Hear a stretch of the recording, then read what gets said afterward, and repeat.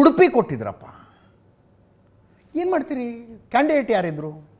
ಕಾಂಗ್ರೆಸ್ನಿಂದ ಒಬ್ಬರನ್ನ ಕರ್ಕೊಂಡು ಅರ್ಜೆಂಟ್ ಅರ್ಜೆಂಟಾಗಿ ಪ್ರಮೋದ್ ಮಧುರಾಜ್ ಕರ್ಕೊಂಬಂದ್ರು ಅಂತ ಅನ್ಸುತ್ತೆ. ಅವ್ರನ್ನ ಕ ಕರ್ಕೊಂಬಂದು ಕ್ಯಾಂಡಿಡೇಟ್ ಮಾಡಿಸಿದ್ದು. ಈ ಮೋದಿ, ಅಮಿತ್ ಶಾ ಹಂಗಲ್ಲ. ಕಾನ್ಸ್ಟಿಟ್ಯೂಯನ್ಸಿ ಬೈ ಕಾನ್ಸ್ಟಿಟ್ಯೂಯನ್ಸಿ ಲೆಕ್ಕಾಚಾರ ಹಾಕಿ, ಇಲ್ಲಿ ನಿಮ್ಮವ್ರು ಇಷ್ಟಿದ್ದಾರೆ, ನಮ್ಮವ್ರು ಇಷ್ಟಿದ್ದಾರೆ, ಇದು ತಗೊಳ್ಳಿ, ಅದು ಬೇಡ. ಈ ರೀತಿಯಾಗಿ ಲೆಕ್ಕಾಚಾರ ನಡೀತಾ ಇದೆ. ನಾಲ್ಕು ಕ್ಷೇತ್ರಗಳಿಗೂ ಕೂಡ ಜೆ ಡಿ ಎಸ್ನವರು ತೃಪ್ತಿಯನ್ನು ಹೊಂದಿದ್ದಾರೆ. ಕಳೆದ ಸಲ ಎಂಟು ಸಿಕ್ಕಿತ್ತು, ನೀವು ಬರೀ ನಾಲ್ಕೆ ಹೆಂಗೆ ಕೊಡ್ತೀರಿ? ಆ ವಾದ ಜೆ ಡಿ ಎಸ್ ಕಡೆಯಿಂದ ಬಂದಿಲ್ಲ. ಈಗ ನೀವು ಬಲಾಬಲವನ್ನೇ ನೋಡೋದಕ್ಕೆ ಹೋದರೆ, ಉದಾಹರಣೆಗೆ ಹಾಸನ, ಈಗ ಇದನ್ನು ಮೈತ್ರಿ ಅಂತಲೇ ಕರಿಬೇಕು. B J P, J D S ಮೈತ್ರಿ, ಆರು ಜನ ಎಂ ಎಲ್ ಎಗಳಿದ್ದಾರೆ. ಒಂದು ಲೋಕಸಭಾ ಕಾನ್ಸ್ಟಿಟ್ಯೂಯೆನ್ಸಿಯಲ್ಲಿ ಎಂಟು ವಿಧಾನಸಭಾ ಕಾನ್ಸ್ಟಿಟ್ಯೂಯೆನ್ಸಿಗಳು ಬರ್ತವೆ. ಆ ಎಂಟರ ಪೈಕಿ ಆರು ಜನ B J P, J D ಎಸ್ನವರಿದ್ದಾರೆ, ಇಬ್ಬರು ಕಾಂಗ್ರೆಸ್ನವರಿದ್ದಾರೆ. ಅಲ್ಲಿಗೆ ಜಿ ಒಂದು ಅಪ್ಪರ್ ಹ್ಯಾಂಡ್ ಇದೆ ಅಂತ ಅರ್ಥ. ಮಂಡ್ಯ, ಇಲ್ಲಿ ಜೆ ಡಿ ಎಸ್ ಒಂದೇ ಇರೋದು. ಕಾಂಗ್ರೆಸ್ ಹೇಳಿದೆ ಜೆ ಡಿ ಎಸ್ ಇರೋದು ಒಂದೇ, ಕಾಂಗ್ರೆಸ್ ಹೇಳಿದೆ ಇಲ್ಲಿ. ಲಾಸ್ಟ್ ಟೈಮ್ ಬಿಡಿ ಇದು ಉಲ್ಟಾ ಇತ್ತು.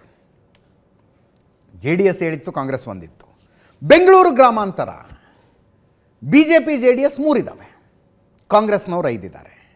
Kolar B J P J D S ಎರಡು, ಕಾಂಗ್ರೆಸ್ ಆರು. ತುಮಕೂರು ಸಮಬಲ ಇದೆ. ನಾಲ್ಕು ನಾಲ್ಕು. ಚಿಕ್ಕಬಳ್ಳಾಪುರದಲ್ಲಿ B J P J D S ಎರಡಿದ್ದರೆ Congress ಆರಿದ್ದಾರೆ. ಯಾವ್ಯಾವ ವಿಧಾನಸಭಾ ಕ್ಷೇತ್ರದಲ್ಲಿ ಯಾರ್ಯಾರು ಎಷ್ಟೆಷ್ಟು ಓಟ್ ತಗೊಂಡಿದ್ರು ಅಂತ a lot of calculation will go behind it or has gone behind it ಅಷ್ಟೆಲ್ಲ ಆದಮೇಲೆ ಒಂದು ತೀರ್ಮಾನಕ್ಕೆ ಬಂದಿದ್ದಾರೆ. ಮಜಾ ನೋಡಿ ನೀವು. ಕುಮಾರಸ್ವಾಮಿಯವರು ಇಲ್ಲಿ ಯಾರ ಜೊತೆಗೂ ಮಾತಾಡಲಿಲ್ಲ. ವಿಧಾನಸಭಾ ಚುನಾವಣೆಯ ಫಲಿತಾಂಶ ಇತ್ತಲ್ಲ, ಮೇ ಹದಿಮೂರನೇ ತಾರೀಕು. ಬಿ ಜೆ ಪಿಗೂ ಪಾಠ ಜೆ ಡಿ ಎಸ್ಸಿಗೂ ಪಾಠ. ನಾವು ಪರಸ್ಪರ ಸ್ಪರ್ಧಿಸಿದ್ದರ ಲಾಭ ಯಾರಿಗಾಯಿತು? ಬಿ ಜೆ ಪಿಗಾಯಿತು ಅಂತ. ಮೊನ್ನೆ ಸರ್ವ ಸದಸ್ಯರ ಸಭೆ ನಡೆದಂಥ ಸಂದರ್ಭದಲ್ಲಿ ಬಿ ಎಲ್ ಶಂಕರ್ ಅವರು ಮಾತಾಡಿದ್ರಂತೆ. ಕಾಂಗ್ರೆಸ್ಸಿನ ಸರ್ವ ಸದಸ್ಯರ ಸಭೆ ನಡೆದಾಗ ಕಾಂಗ್ರೆಸ್ ಮುಖಂಡ ಬಿ ಎಲ್ ಸಂತೋಷ್ ಅವರು ಮಾತಾಡಿದ್ರಂತೆ. ಲೋಕಸಭಾ ಚುನಾವಣೆಗಳನ್ನು ಈಸಿಯಾಗಿ ತಗೋಬೇಡಿ. ಬಿ ಜೆ ಪಿ ಅರವತ್ತಾರೇ ಸ್ಥಾನ ಬಂದಿರಬಹುದು. ಆದರೆ ಅವರು ವೋಟ್ ಶೇರ್ ಕಡಿಮೆ ಆಗಿಲ್ಲ. ಮೊದಲು ಮೂವತ್ತಾರಿತ್ತು ಈಗಲೂ ಮೂವತ್ತಾರಿದ್ದಾರೆ ಸಮ್ ಡೆಸಿಬಲ್ಸ್ ಕಡಿಮೆ ಆಗಿದೆ. ಮೂವತ್ತಾರು ಮೂವತ್ತಾರು. ಬಿ ಜೆ ಪಿನ ನೆಗ್ಲೆಕ್ಟ್ ಮಾಡೋಕ್ಕೆ ಹೋಗಬೇಡಿ. ಸೀರಿಯಸ್ ಆಗಿ ಫೈಟ್ ಮಾಡೋಣ ಅನ್ನೋ ಥರ. ಹೌದು. ವೋಟ್ ಶೇರ್ನಲ್ಲಿ ದೊಡ್ಡ ಲಾಸ್ ಆಗಲಿಲ್ಲ. ಸಮಸ್ಯೆ ಆಗಿದ್ದೇನೆಂದರೆ, ಮುಂಚೆ ಎಲ್ಲೆಲ್ಲಿ ಎಷ್ಟು ಓಟ್ ತಗೊಂಡಿದ್ರು ಅಷ್ಟು ಅಷ್ಟು ಓಟ್ ತಗೊಳ್ಳಿಲ್ಲ ಬಿ ಜೆ ಪಿಯವರು ಉಳಿದ ಎಲ್ಲ ಕಡೆ ನೆಗೆಟಿವ್ ಆಯಿತು, ಹಳೆ ಮೈಸೂರು ಭಾಗದಲ್ಲಿ ಪಾಸಿಟಿವ್ ಆಯಿತು. ಹಳೆ ಮೈಸೂರು ಭಾಗದಲ್ಲಿ ಓಟ್ಗಳು ಜಾಸ್ತಿ ಬಂದವು. ಈಗ ಮಂಡ್ಯ ಜಿಲ್ಲೆಯ ವಿಧಾನಸಭಾ ಕ್ಷೇತ್ರಗಳಲ್ಲಿ on on average B J P ಇಪ್ಪತ್ತೈದು ಸಾವಿರ ಓಟ್ ತಗೊಂಡಿದೆ. ಮುಂಚೆ ಮೂರು ಸಾವಿರ, ನಾಲ್ಕು ಸಾವಿರ, ಐದು ಸಾವಿರ ಓಟ್ ತಗೋತಿತ್ತು. ಮುಂಚೆ ಒಂದು ಟ್ಯಾಸಿಟ್ ಅಂಡರ್ಸ್ಟ್ಯಾಂಡಿಂಗ್ ಇರ್ತಿತ್ತು ಒಳ ಒಪ್ಪಂದ ಇರ್ತಿತ್ತು ಜೆ ಡಿ ಎಸ್ಗೂ ಬಿ ಜೆ ಪಿಗೂ ಮಧ್ಯದಲ್ಲಿ. ಈ ಸಲ ಒಳ ಒಪ್ಪಂದ ಮಾಡಿಕೊಂಡರೆ ಮಾತೃದ್ರೋಹ ಮಾಡಿದಂತೆ ಅಂತ ಅಮಿತ್ ಶಾ ತಾಜ್ ವೆಸ್ಟ್ ಎಂಡ್ ಹೋಟೆಲ್ನಲ್ಲಿ ಬಿ ಜೆ ಪಿ ಹೇಳಿದ್ರು ನೋ ಅಂಡರ್ಸ್ಟ್ಯಾಂಡಿಂಗ್ ನಥಿಂಗ್ ಅಂತ. ಎಲ್ಲ ಕಡೆನೂ ಸೀರಿಯಸ್ ಫೈಟ್ ಕೊಡೋದೆ ಜೆ ಡಿ ಎಸ್ಗೆ ಸೀರಿಯಸ್ ಫೈಟ್ ಕೊಟ್ಟರು ಆಗಿದ್ದೇನು ಜೆ ಡಿ ಎಸ್ ಓಟ್ನ ಬಿ ಜೆ ಪಿ ಅದರ ನೇರ ಲಾಭ ಕಾಂಗ್ರೆಸ್ಗಾಯಿತು. ಮೇ ಹದಿಮೂರರ ವಿಧಾನಸಭಾ ಚುನಾವಣೆಯ ಫಲಿತಾಂಶದ ಮೊಟ್ಟ ಮೊದಲನೆಯ ಮತ್ತು ಅತಿ ದೊಡ್ಡ ಪಾಠ ಬಿ ಜೆ ಪಿಗೂ ಜೆ ಡಿ ಎಸ್ಗೂ ಇದೆ. ನಾವು ನಾವು ಜಗಳ ಮಾಡಿದರೆ ಕಾಂಗ್ರೆಸ್ಗೆ ಲಾಭ ಆಗುತ್ತೆ. ಜೆ ಡಿ ಎಸ್ನ ಫೈವ್ ಪರ್ಸೆಂಟ್ ಓಟ್ ಶೇರನ್ನು ಕಾಂಗ್ರೆಸ್ ಡೈರೆಕ್ಟಾಗಿ ಕಿತ್ಕೊಳ್ತು J D S last time ಹದಿನೆಂಟು ಪರ್ಸೆಂಟ್ ಇತ್ತು, ಈ ಸಲ ಹದಿಮೂರು ಪರ್ಸೆಂಟಿಗೆ ಬಂದಿದ್ದಾರೆ. ಬಿ ಜೆ ಪಿ ಕಳೆದ ಸಲನೂ ಮೂವತ್ತಾರು ಪರ್ಸೆಂಟು ಈ ಸಲನು ಮೂವತ್ತಾರು ಪರ್ಸೆಂಟು ಕಳೆದ ಸಲ ಮೂವತ್ತೆಂಟು ಪರ್ಸೆಂಟ್ ಓಟ್ ಶೇರ್ ತಗೊಂಡಿದ್ದ ಕಾಂಗ್ರೆಸ್ಸು ಮೊನ್ನೆ ವಿಧಾನಸಭಾ ಚುನಾವಣೆಯಲ್ಲಿ ನಲವತ್ತ್ಮೂರು ಪರ್ಸೆಂಟ್ ಓಟ್ ಶೇರ್ ತಗೊಂಡಿತ್ತು. ಇಬ್ಬರ ಜಗಳ ಮೂರನೆಯವರಿಗೆ ಆಯ ಅನ್ನೋ ಗಾದೆ ಮಾತು ವಿಧಾನಸಭಾ ಚುನಾವಣೆಯ ಫಲಿತಾಂಶದಲ್ಲಿ ಕ್ಲಿಯರ್ ಆಗಿ ಗೊತ್ತಾಯಿತು. B J P J D S ಜಗಳದ ಲಾಭವನ್ನು ಕಾಂಗ್ರೆಸ್ ತಗೊಂಡಿತು ಅಂತ. ಈ ಪಾಠ ಬಿ ಜೆ ಪಿಯವ್ರಿಗೂ ಹೌದು ಜೆ ಡಿ ಎಸ್ನವ್ರಿಗೂ ಹೌದು. ಆದರೆ ಕುಮಾರಸ್ವಾಮಿಯವರು ನೇರವಾಗಿ ದಿಲ್ಲಿಗೆ ಹೋಗಿ ಅಮಿತ್ ಶಾನೇ ಮೀಟ್ ಮಾಡಿದ್ರು. ಯಡಿಯೂರಪ್ಪನವ್ರನ್ನ ಕೇಳಲಿಲ್ಲ, ಬೊಮ್ಮಾಯಿಯವ್ರನ್ನ ಕೇಳಲಿಲ್ಲ. ಇಲ್ಲಿದ್ದಂಥ ಬಿ ಜೆ ಪಿಯ ಹಿರಿಯ ಮುಖಂಡರ ಜೊತೆಗೆ ಮಾತಾಡಲಿಲ್ಲ. ದಿಲ್ಲಿಯ ಬಿ ಜೆ ಪಿ ಮುಖಂಡರು ಕೂಡ ಕುಮಾರಸ್ವಾಮಿ ಅವರು ಹಿಂಗೆ ಬಂದಿದ್ದಾರೆ, ಏನು ಮಾಡೋಣ ಅಂತ ಇಲ್ಲಿದ್ದವ್ರಿಗೇನು ಕೇಳಲಿಲ್ಲ. ಮೈತ್ರಿ ಮಾಡ್ಕೊಳ್ಳೋಣ ಅಂತ ಬರ್ತಾ ಇದ್ದಾರೆ ಜೆ ಡಿ ಎಸ್ನವ್ರು, ಏನು ಮಾಡೋಣ? ಹ್ಞೂ ಕೇಳಲೇ ಇಲ್ಲ ಅವರು. ದಿಲ್ಲಿಯ ಮುಖಂಡರು ಕೇಳದೆಯೇ?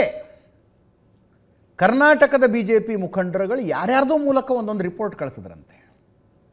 ಮೈತ್ರಿ ಬೇಡ. ಇನ್ನೊಂದು ಹೇಳೋದು ಮರ್ತೆ ನಾನು. ಆ್ಯಕ್ಚುಲಿ ಜೂನ್ ಜೂನ್ ನಾಲ್ಕನೇ ತಾರೀಕು ಕುಮಾರಸ್ವಾಮಿ ಅವರು ಅಮಿತ್ ಶಾ ಹತ್ರ ಹೋದಾಗ ಅಮಿತ್ ಶಾ ಕೇಳಿದ್ದು ಮೈತ್ರಿ ಗೀತ್ರಿ ಬೇಡ, ಜೆ ಡಿ ಎಸ್ಸನ್ನು ಮರ್ಜ್ ಮಾಡಿಬಿಡಿ ಬಿ ಜೆ ಪಿಲಿ ಅಂದ್ರಂತೆ. ಅದು ಹೆಂಗಾಗುತ್ತೆ ಅಂತ ಕುಮಾರಸ್ವಾಮಿ ನಮ್ಮದು ಒಂದು ಅಸ್ತಿತ್ವ ಇದೆ. ನಮ್ಮದೊಂದು ವೋಟ್ ಶೇರ್ ಇದೆ, ವೋಟ್ ಬ್ಯಾಂಕ್ ಇದೆ. ದೇವೇಗೌಡರು ಇದಕ್ಕೆ ಒಪ್ಪೋದಕ್ಕೆ ಸಾಧ್ಯನೇ ಇಲ್ಲ, ನಾನು ಕೂಡ ಒಪ್ಪೋದಿಲ್ಲ ಅಂತ ಹೇಳಿದ್ದಾರೆ. ಆಮೇಲೆ ಮೈತ್ರಿಯ ಮಾತುಕತೆ ಶುರುವಾಗಿದೆ. ಮೈತ್ರಿಯ ಮಾತುಕತೆ ಕುಮಾರಸ್ವಾಮಿಗೂ ದಿಲ್ಲಿಯವರೆಗೂ ಡೈರೆಕ್ಟ್ ಡೈರೆಕ್ಟಾಗಿ ಆಗಿತ್ತು. ರಾಜ್ಯದ ಬಿ ಜೆ ಪಿ ಮುಖಂಡರುಗಳು ರಿಪೋರ್ಟ್ ಕಳಿಸಿದ್ದಾರೆ. ಇದು ಬೇಡ, ನಮಗೆ ನೆಗೆಟಿವ್ ಆಗುತ್ತೆ. ಬೇಕಿದ್ದರೆ ಒಳ ಒಪ್ಪಂದಗಳನ್ನು ಮಾಡಿಕೊಳ್ಳೋಣ, ಆಯಾ ಲೋಕಸಭಾ ಕ್ಷೇತ್ರಗಳಿಗೆ ಸಂಬಂಧಿಸಿದಂತೆ. ಚುನಾವಣಾ ಪೂರ್ವ ಘೋಷಿತ ಮೈತ್ರಿ ಬೇಡ ಅನ್ನುವ ರಿಪೋರ್ಟನ್ನು ಕಳಿಸಿದ್ದಾರೆ. ಇಲ್ಲಿನ ಬಿ ಜೆ ಪಿ ಮುಖಂಡರ ಲೆಕ್ಕಾಚಾರ ಹೆಂಗೆ ಅಂದರೆ, ಹಳೆ ಮೈಸೂರಿನ ಏಳರಿಂದ ಎಂಟು ಕ್ಷೇತ್ರಗಳಿಗೆ ಸೀಮಿತವಾಗಿ ಈ ಮೈತ್ರಿ. ಸತ್ಯ ಕೂಡ ಹೌದದು. ಎಂಟು ಅಲ್ಲ, ಏಳೇ ಕ್ಷೇತ್ರ. ಸೀಮಿತವಾಗಿ ಈ ಮೈತ್ರಿ. ಉತ್ತರ ಕರ್ನಾಟಕದ ಕ್ಷೇತ್ರಗಳು ಅಥವಾ ಕರ್ನಾಟಕದ ಬೇರೆ ಬೇರೆ ಹಳೆ ಮೈಸೂರಿನ ಹೊರತುಪಡಿಸಿ ಬೇರೆ ಬೇರೆ ಲೋಕಸಭಾ ಕ್ಷೇತ್ರಗಳಿದಾವಲ್ಲ, ಆ ಕ್ಷೇತ್ರಗಳಲ್ಲಿ ಜೆ ಡಿ ಎಸ್ ಕ್ಯಾಂಡಿಡೇಟ್ ಇದ್ದರೆ ಬಿ ಜೆ ಪಿಗೆ ಲಾಭ ಅನ್ನುವ ಸ್ಥಿತಿ ಇದೆ. ತ್ರಿಕೋನ ಸ್ಪರ್ಧೆ ಆದರೆ ಬಿ ಜೆ ಪಿಗೆ ಮುನ್ನಡೆ ಅಲ್ಲಿ ಕಾಂಗ್ರೆಸ್ ಬಿ ಜೆ ಪಿ ನೇರ ಹಣಾಹಣಿಯಾದರೆ ನಮಗೆ ನೆಗೆಟಿವ್ ಆಗಬಹುದು ಅಂತ ಒಂದು ರಿಪೋರ್ಟ್ ಕೊಟ್ಟಿದ್ದಾರೆ ಇವರು. ಇವ್ರದ್ದೊಂದು ರಿಪೋರ್ಟ್ ಇರುತ್ತೆ, ಅವ್ರದ್ದೊಂದು ರಿಪೋರ್ಟ್ ಇರುತ್ತೆ. ಅದು ಅಲ್ಲದೆ ಈ ವಿಧಾನಸಭಾ ಚುನಾವಣೆಯ ಫಲಿತಾಂಶ ಬಂದ ನಂತರ ಮೋದಿ, ಅಮಿತ್ ಶಾ, ಜೆ ಪಿ ನಡ್ಡಾ ಅವರಿಗೆ ಕರ್ನಾಟಕದ ಬಿ ಜೆ ಪಿ ಮುಖಂಡರುಗಳ ಮೇಲಿನ ಬೇಜಾರು ಅದು ಎಷ್ಟರ ಮಟ್ಟಿಗಿದೆ ಅಂದರೆ ಇವ್ರು ಏನು ಹೇಳಿದ್ರು ಕೇಳಿಸ್ಕೊಳ್ಳೋ ಪರಿಸ್ಥಿತಿ ಇಲ್ಲ. ಇವರು ದಮ್ಮಯ್ಯ ಗುಡ್ಡೆ ಆಗ್ತಿದ್ದಾರೆ ಒಬ್ಬ ವಿಪಕ್ಷ ನಾಯಕನನ್ನು ಯಾರು ಅಂತ ಹೇಳ್ಬಿಡಿ, ನಾವು ಮಾಡ್ಕೋತೀವಿ ಅಂತ. ಓಹ್, ಹೊಸ ರಾಜ್ಯಾಧ್ಯಕ್ಷರು ಯಾರು ಹೇಳಿ, ನಾವು ಮಾಡ್ಕೋತೀವಿ. ಕೇಳಿಸಿಕೊಳ್ಳೋದಕ್ಕೂ ತಯಾರಿಲ್ಲ ಆದ್ದರಿಂದ ಈ ಮೈತ್ರಿಯ ಬಗ್ಗೆ ರಾಜ್ಯ ಬಿ ಜೆ ಪಿ ಮುಖಂಡರ ಅಭಿಪ್ರಾಯಕ್ಕೆ ಮನ್ನಣೆ ಸಿಕ್ಕಿಲ್ಲ. ಅಲ್ಲಲ್ಲಿ ಫೈನಲ್ ಆಗಿಬಿಟ್ಟಿದೆ.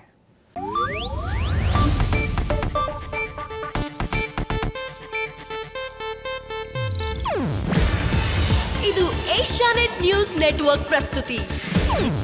ನೀವು ನೋಡ್ತಿದ್ದೀರಾ ಏಷ್ಯಾ ನೆಟ್ ಸುವರ್ಣ ನ್ಯೂಸ್.